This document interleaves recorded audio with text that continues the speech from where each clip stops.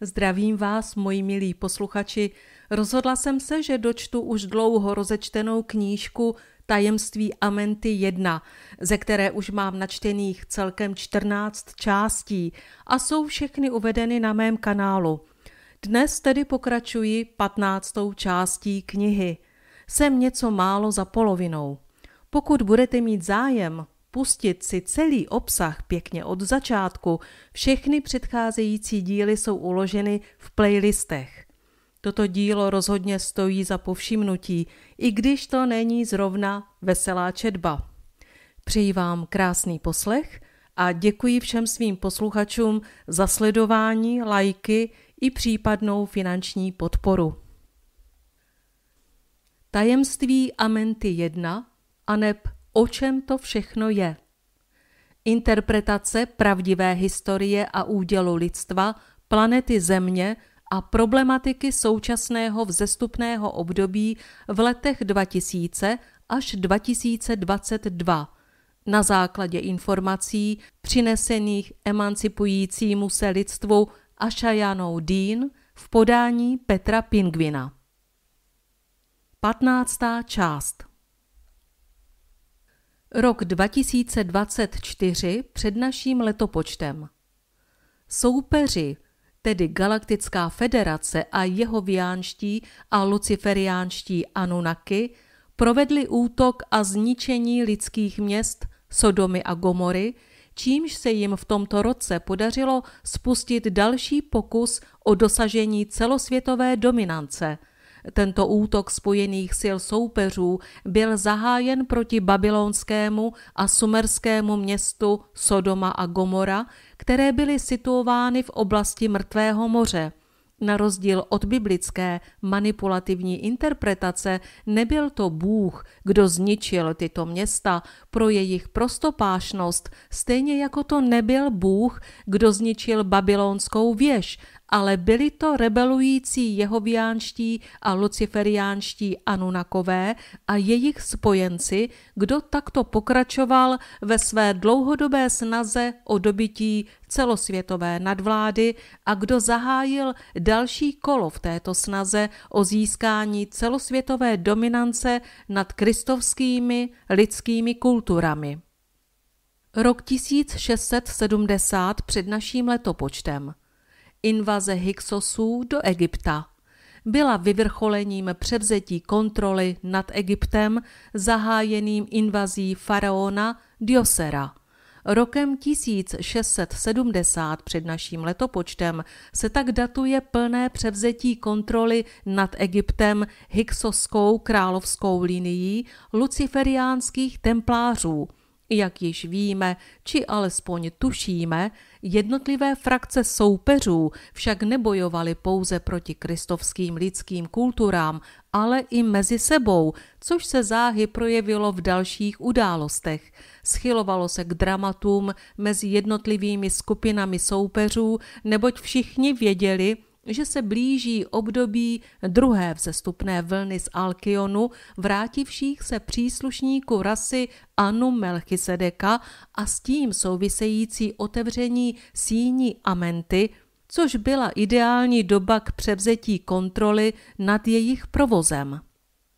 1550 před naším letopočtem – drakoniánské dobytí Egypta, v rámci kterého se čelnímu prominentovi této soupeřící agendy faraonu Ahmoseovi podařilo porazit hyksoskou královskou linii luciferiánských Anunaků v čele s faraonem Kamosem a převzít tak kontrolu nad Egyptem.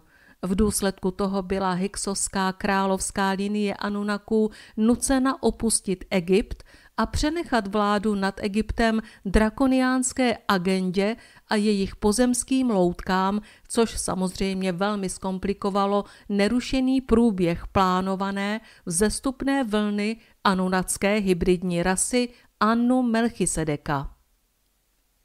1476 před naším letopočtem. Vynucený exodus Hyksosů z Egypta – za vlády drakoniánského faraona Tutmosise III. Tato událost je notoricky známa v podobě biblického exodu Hebrejců z Egypta pod vedením Mojžíše, i když je v Bibli zcela pokroucen celý kontext a logika této velké události zásadně měnící mocenské poměry v Egyptě. 1459 před naším letopočtem křížová výprava Hyksosů do Izraele – po vynuceném opuštění Egypta se hyksovské královské linie luciferiánských templářů pod vedením Galaktické federace vydali směrem proti hebrejské kristovské lidské kultuře žijící v Izraeli. Ke svému útoku využili možností získaných z ukradené schránky úmluvy a prohlásili tuto oblast za zemi Bohem jim zaslíbenou, co by první vlaštovku na této budoucí frontě války o celosvětovou dominanci. Rok 1458 před naším letopočtem. Hatšep Sutina invaze.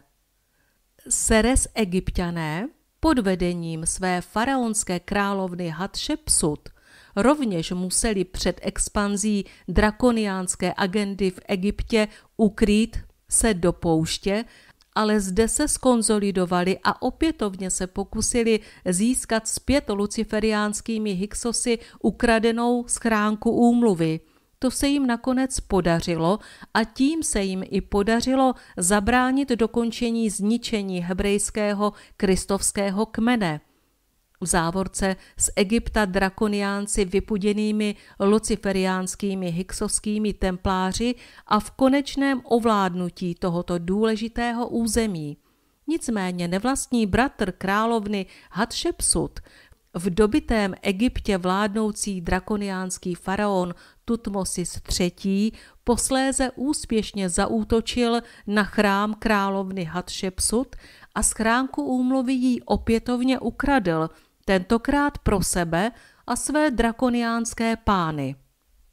A v tomto okamžiku našeho výkladu přichází na řadu objasnění mise faraona Achnatona, která poměrně zásadním způsobem ovlivnila další vývoj událostí – Pojďme se tedy podívat, co se vlastně tehdy v nastávající době druhé vzestupné vlny z Alkionu se vrátivší rasy Anu Melchisedeka událo, když víme, že Egypt byl v této době pod kontrolou z Anunaky soupeřících drakoniánců. Atlantské konspirace mise faraona Achnatona 1353 před naším letopočtem. Mise faraona Achnatona. Smyslem událostí kolem mise faraona Achnatona byl organizovaný pokus o návrat celé pozemské hyksovské královské linie luciferiánských Anunaků a jejich spojenců z Galaktické federace pod mírovou smaragdovou úmluvu strážců a to prostřednictvím bioregeneračního programu, kdy k nápravě hyksovského rodokmenu byl využit genom Seres egyptianů. Šlo vlastně o komplexní plán na zužitkování druhé vlny návratu rasy Anu Melchisedeka z jejich evoluční bioregenerační objížďky na Alkionu poté, co byla z jejich morfogenetiky vyjmuta templářská pečeť, implementovaná jim v období 8000 před naším letopočtem, kdyby tato hybridní rasa Anunaků v podstatě na Zemi nahradila již nežádoucí rasu signovaných templářů, kteří by posléze přešli do vlastního bioregeneračního programu. Provedením tohoto úkolu byl strážci pověřen faraon Achnaton, Čistokrevný Anunnaki z koncilu ze Sýria, inkarnován v roce 1398 před naším letopočtem v Tébách po otci Seres Egyptian, po matce Anu Melchisedek, který po pohnutém průběhu svého života, kdy byl mimo jiné k provádění vzestupu školen v Agartě, ovšem ve finále selhal, opustil zájmy prosazované strážci a Seres egyptiany a misi do úspěšného konce nedotáhl.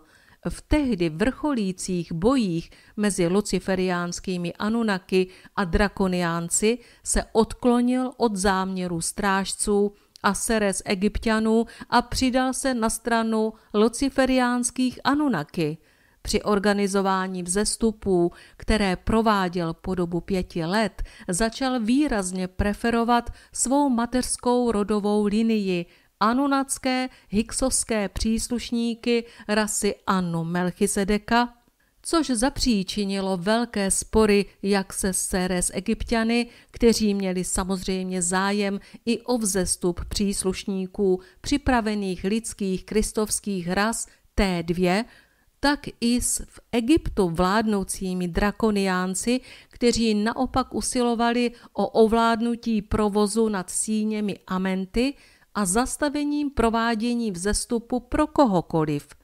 Tento spor skončil jeho usmrcením, organizovaným jeho strýcem Haremhabem, který byl jeho hlavním soupeřem, aniž by tak svoji misi dovedl do úspěšného konce. V průběhu působení faraona Achnatona došlo ke strážci kontrolovanému sloučení sféry Amenty se zemí a tak mohl být opět organizován vzestup a to pro všechny lidské kristovské rasy a nejen pro z Alkionu, vrátivší se Anu Melchisedeky a to prostřednictvím portálů síní Amenty, které byly za tím účelem otevřeny v roce 1374 před naším letopočtem. Nicméně Achnaton odmítl asistovat při vzestupu jiným rasám, což zapříčinilo vznik rozporů. A když posléze zjistil, že vzestup začínají organizovat i samotní Seres egyptiané bez něho, došlo mezi nimi k potyčce, v průběhu které došlo k poškození energetických nástrojů schránky úmluvy a rozštěpení samotné sféry Amenty.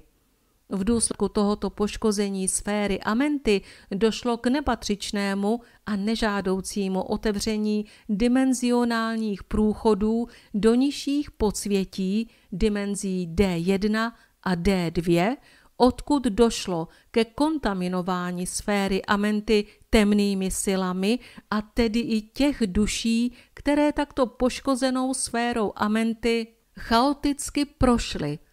Tomuto nežádoucímu provozu ve sféře Amenty sice strážci Elohimové bezprodlení učinili přítrž, ale přesto bylo nutno tuto situaci napravit.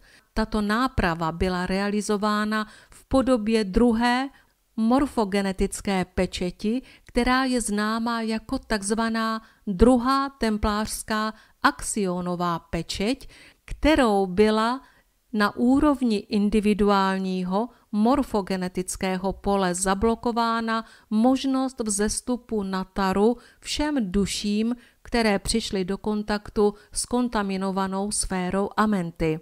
Toto vzestup znemožňující opatření se týkalo nejen příslušníků hybridní rasy Anu Melchisedeka, ale i kristovských Seres egyptianů a postupně se bohužel skrze další generace a křížení inkarnátů rozšířilo po celém světě, nicméně dnes výrazně převažuje úraz Anu Melchisedeků a Hebrejců.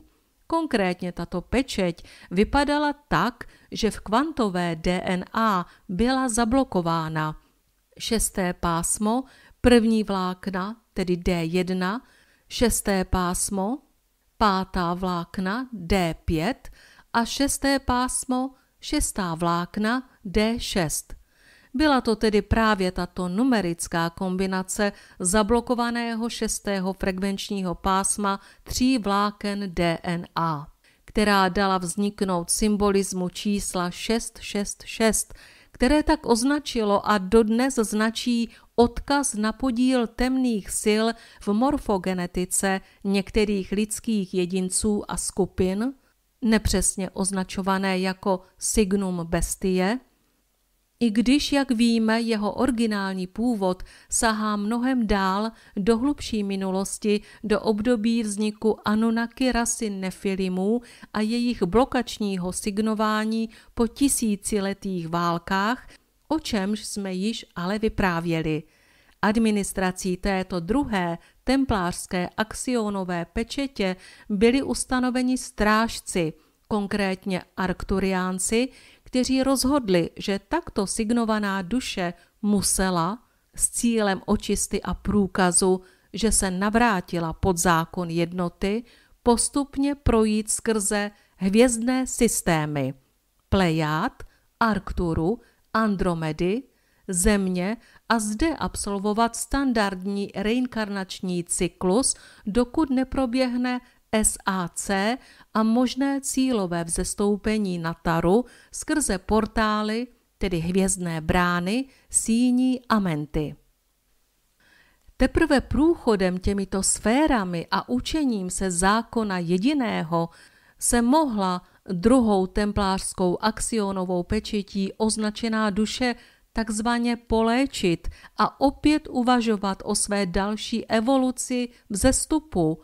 Mnoho lidí v současnosti tak nese část nebo i celou tuto pečeť ve svém dědictví a je jen na nich, zda s tím chtějí něco dělat.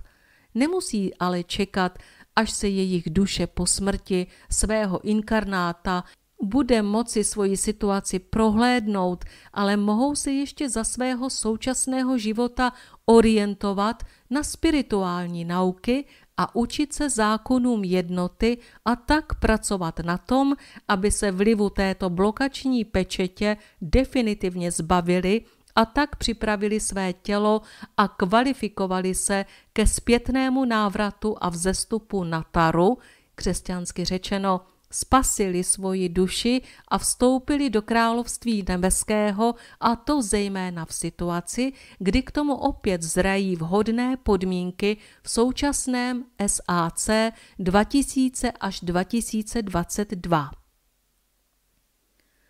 Jak vidíme, situace se v průběhu mise faraona Achnatona velmi zkomplikovala a proto není ani divu, že Galaktická federace v důsledku výše popsaného vývoje událostí odstoupila od Smaragdové úmluvy a i strážci byli velmi roztrpčeni tímto vývojem událostí, Důležitými nežádoucími výsledky těchto neblahých událostí pak bylo mimo jiné i to, že bylo ze strany strážců přistoupeno k deaktivaci energetických nástrojů schránky úmluvy a tím i zastavení možnosti využívat teleportační zařízení, most, archu úmluvy v Egyptě k interdimenzionálnímu cestování, vzestupům a dalším aplikacím.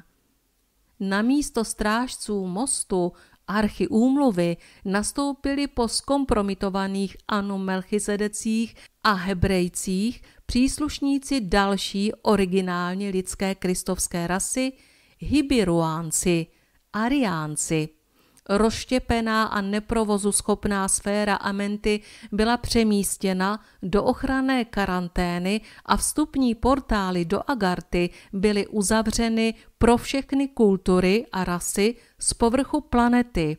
Další vývoj v této situaci musel čekat až na další období SAC 196 před naším letopočtem, kdy pomyslný štafetový kolík spolupráce se strážci a tedy i přípravu na úspěšný průběh tohoto budoucího období převzala skupina známá jako takzvané Bratrstvo esenských. Nyní se však ještě na chvíli vraťme a dokončeme si stručně další klíčové události v průběhu atlantské konspirace v období po odeznění neúspěšné mise faraona Achnatona. Rok 906 před naším letopočtem. Pád Šalamounova chrámu. Král Šalamoun po svém otci Hyksovském králi Davidovi ale po matce Ceres Egyptian byl pod vedením Galaktické federace veden k tomu, aby se opětovně pokusil ukrást schránku úmluvy.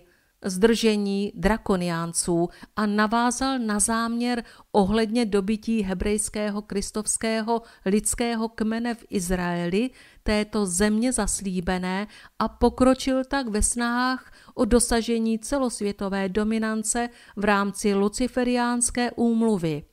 Když se mu pak i skutečně podařilo schránku úmluvy ukrást a ukrýt ji ve svém chrámu, vstoupili do situace strážci, konkrétně v tomto případě Seres Plejáďané, s cílem nedopustit, aby bylo možno využít tyto nástroje k útoku proti zaslíbené zemi Izraeli, obydleném hebrejským kristovským kmenem.